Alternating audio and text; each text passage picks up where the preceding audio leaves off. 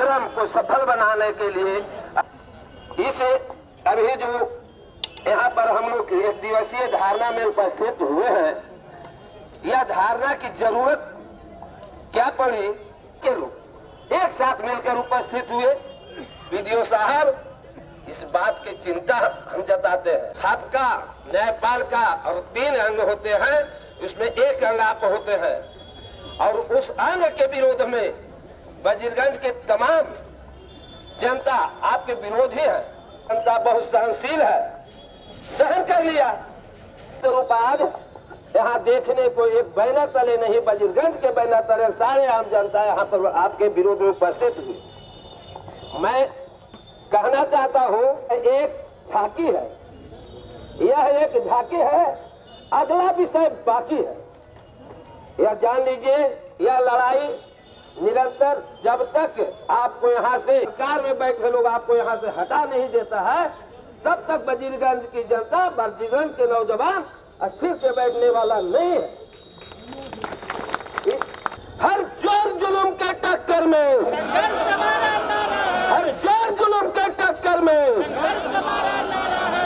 Video साहब और जिला में बैठे जिला पदाधिकारी स्लोगन में है बहुत सारे स्लोगन यहाँ पर है, जिस और मेरे गार्जियन के द्वारा प्रयासरत यह धारणा शांति पूर्वक चल भी रहा है। दावा किया गया है बजरगंज को बजरगंज प्रखंड को बदनाम करने के लिए कि बजर ब्लॉक तब खुलेगा, जब हमको फोर्स दिया जाएगा। ये क्या घोषला है? किया जाए। पूर्व के वक्ता सारे निंदा कर चुके हैं लड़कों की, वह गलती हुई है। लेकिन गलती के मतलब नहीं कि मैं आकर किसी तरह की गलती किया, वह लड़का मात अगर हम लोग होते तो कुछ देरी के लिए पब्लिक विश्वास करता कि हो सकता है टिप फुट टाइप जैसा जवाब दिया होगा लेकिन विपिन सिंह जैसे समाज सेवी व्यक्ति, जो किसी व्यक्ति से नहीं बोलता है, उसको आन जाने में आया और मारना शुरू कर दिए। वैसे व्यक्ति, जो यहाँ प्रखंड में आया भी नहीं है, पिंटू सिंह जी, उनको उन पर आपने झूठा मुकदमा दायर करा दिया। वीडियो साहब, मुकदमा और लोगों की भी दायर कराने आता है। हम लोग अभी तक वजीरगंज प्रखंड के अपनी इज़्ज़त बचाने में लगे हुए थे। लेकिन आपकी रवैया ऊपर ही जाने वाला है। हम लोग जब ऊपर सारा बात शोर करेंगे, आप भाई साहब बोल चुके हैं, जब हम लोग लग जाएँगे तन मन से तो आप 24 घंटा इस प्रखंड में नहीं रह पाएँगे। वजीरगंज के प्रखंड विकास पदाधिकारी के द्वारा अवानवीय व्यवहार को लेकर, जिस तरह से जनप्रतिनिधि के द्वारा उन्होंने अवानवीय व्यवहार किया है, इसको लेकर आज तमाम वजीरगंज के जितने भी साथी, बुद्धि बुद्धि, बुद्धिजीवी जितने भी हमारे दल के लोग हैं, सारे लोग आज एक दिवसीय महाधरना के माध्यम से यह चेतावनी देने आए हैं कि अगर अविलंब ऐसे प्रखंड विकास पदाधिकारी जो जनता के हित में काम न करने वाले हैं, ऐसे पदाधिकारी को 24 घंटा के अंदर अविलंब यहाँ से हटाया जाए क्योंकि इनको रहने से टोटल वजीरगंज का जो माहौल है बिल्कुल गंदा हो गया है। काम करने में वजीरगंज में सक्षम नहीं है।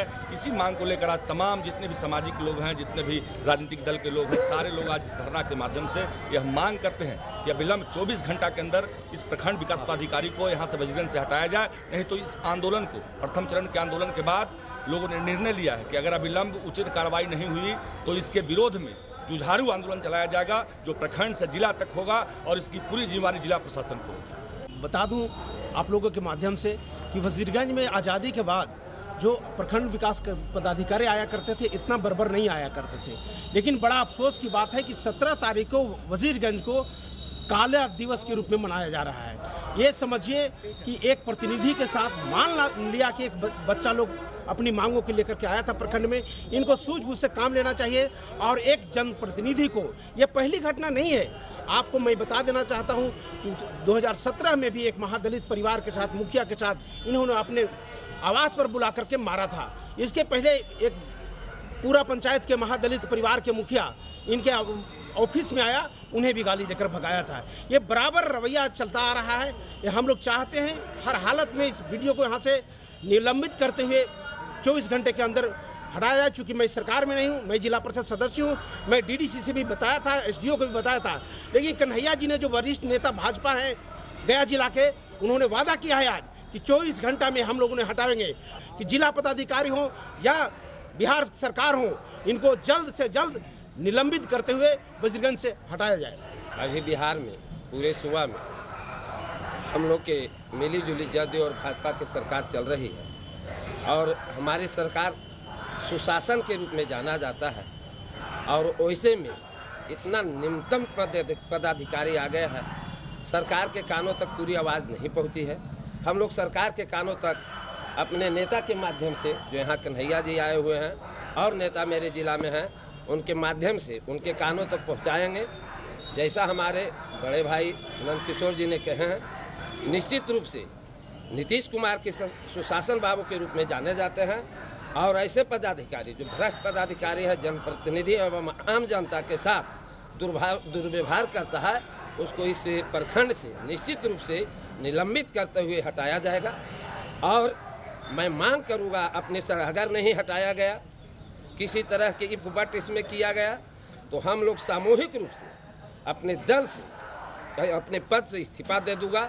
जनप्रतिनिधि होने के नाते और अपने पार्टी के अध्यक्ष होने के नाते मैं बजरगंज प्रखंड की जनता से, जो यहाँ धरना स्थल पर आए हुए हैं, यह स्वस्थ करना चाहता हूँ कि यह प्रखंड विकास पदाधिकारी के द्वारा घोर निंदनीय कार्य किया गया है। इसको मैं कठोर रूप से निंदा करता हूँ। जल्द से जल्द हटाना होगा। विरोधहीन प्रखंड विकास पदाधिकारी को जल्द से जल्द हटाना होगा। जो हमसे टकराएगा, जो हमसे टकराएगा। और अपनी मीठी बानी से और और गलत केस में फंसा सुधार लग रहा दुर्गा पर कर जाएगा। आएगा हम लोग जनता नहीं है। जो हो जाता है तो किसी का जाप नहीं है इसी के साथ मैं अपना विशेष नहीं बोलना चाहता। कोई वीडियो गलत काम करता है, थोड़ा तो वीडियो क्या? वो भी पदाधिकारी वो भी आई है सात चार कमिश्नर वो भी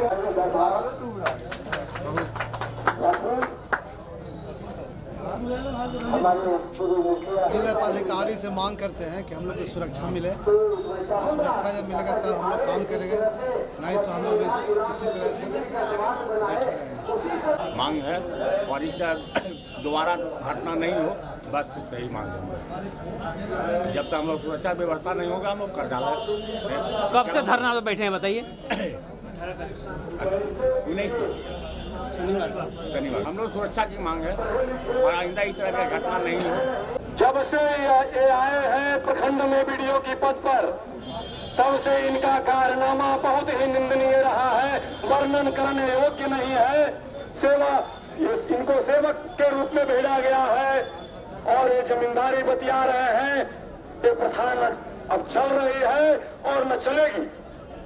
बीडीओ साहब के बाद बीडीओ साहब जितना भी तरह का घटना किए ये काफ़ी निंदनीय है, चाहे वो जितना लोग बोल चुके, वो एकदम सही है चाहे वो गुड़ियावा पंचायत के मुखिया हो, चाहे विपिन जी के साथ हो, और लोग, कितने लोग के साथ ये दुर्व्यवहार किए हैं और मारपीट किए हैं। भगवान उनको शक्ति नहीं दिया है, मार, उनको विकास पदाधिकारी बना करके भेजा गया है। वो सही में उस लायक ऑथराइज नहीं थे, लेकिन जिलाधिकारी से मैं अनुरोध करता हूँ कैसे आप लोग पदाधिकारी को भेजते हैं। आप बहुत अनुभवी थे तो आपको समझ में आ गया होगा कि हमारे साथ कैसा व्यवहार किया जा रहा है। पद पर नहीं है। आप अगर समझ रहे होंगे कि हम कलेक्टर हैं, विधायक हैं तो एक काम कीजिए, समाज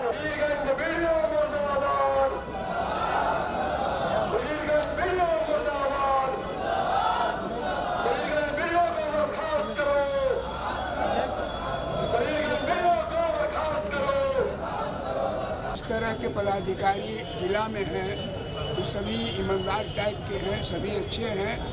वो इस बात को चाहे डीएसपी से लेके एसपी डीआईजी कमिश्नर, सभी एक अच्छे पदाधिकारी हैं। देख, ये बात कहने का मतलब है कि न्याय मिलेगा, यहाँ से न्याय मिलेगा। जो कहने का सबसे बहुत बड़ा बात है कि जो विपिन सिंह को, अरे लड़का आया तीन रोज से चल रहा था, वहाँ पर दर्शन कभी कुछ कर रहा था कॉलेज में। इनको जाना चाहिए था, जबकि समूचे पुलिस प्रशासन रात दिन बेदम था। वीडियो साहब को कभी ऐसा नहीं हुआ कि मोड़ पर भी हुआ, कहीं भी जाम हुआ और इनको नज़र में आवे जाए। यहाँ वीडियो थे, सुभाष बाबू थे, रघुवंश बाबू थे, जो कि आज उनको सबको याद करता है। आज ही वीडियो साहब, जिन्होंने सबसे बहुत बड़ बात है कि रचने में अधी रचने में बहुत माहिर है। समूचे कर्मचारी को बैठा दिए। हम एक कर्मचारी से पूछे कि क्या भाई, सही बात है तो नहीं नहीं बात तो एकदम झूठा है वो तो मारे हैं। और उसके बाद हम लोग क्या करें, उनके डर से नहीं बैठेंगे। हम तो बैठेंगे, बेचारे सब डर से बैठे हुए हैं। लाचार हैं इन लोग, और वीडियो साहब से भी कहते हैं कि हम हम लोग सब माफ़ करने के लिए तैयार हैं। वो कसम खा के कह दे कि विपिन सिंह को नहीं मारे। हाथ उठा के खाली कह दे कि विपिन सिंह को नहीं मारे। हैं क्यों झूठ बोलने का ज़रूरत आ रहा है उनको? उनको अगर इस तरह की बात है, क्या ये बात कह दे कि पिंटू सिंह के रचे हैं? अगर पिंटू सिंह हमसे पूछा पहले कि क्या तुम वहाँ गया था?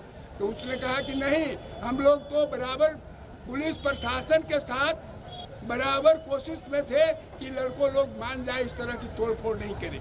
लड़का लोग यहाँ भी आया और तोड़ फोड़ किया। तोड़ फोड़ किया तो उसका हम भी निंदा करते हैं। कहीं भी कोई अगर ऐसे करता है, बात उसको समझ में नहीं आ रहा है।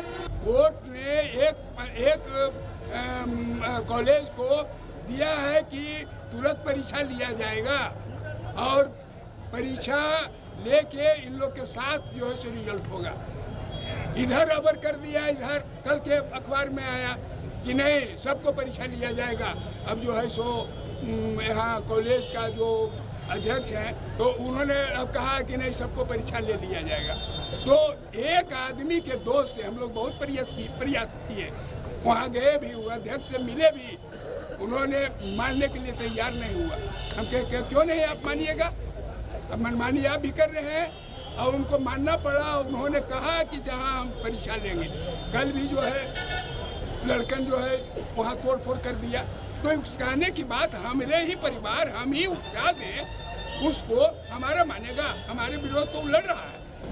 अवधेश बाबू का जो प्रतिनिधि है, वो कहा कि अवधेश बाबू कह रहे हैं, बुआ रहे हैं अवधेश बाबू कह रहे हैं कि वीडियो बहुत गलत किया है, हम भी कहते हैं कि ऐसा तुम कहा अति कर रहे हो। मानने के लिए नहीं तैयार है। यहाँ के अध्यक्ष बाबू गए हैं मनाने के लिए, उन्हें मान रहे हैं। उनका वो अपने भी तो बयान दिए हैं, जो उनका प्रतिनिधि है। इसके पहले बयान दे चुके हैं। कि नहीं वीडियो एकदम भ्रष्ट है, एकदम गलत है। आपने जो यहाँ झूठ मूठ के केस करवाए तो वीडियो साहब का जो काम है, वो बहुत निंदनीय है।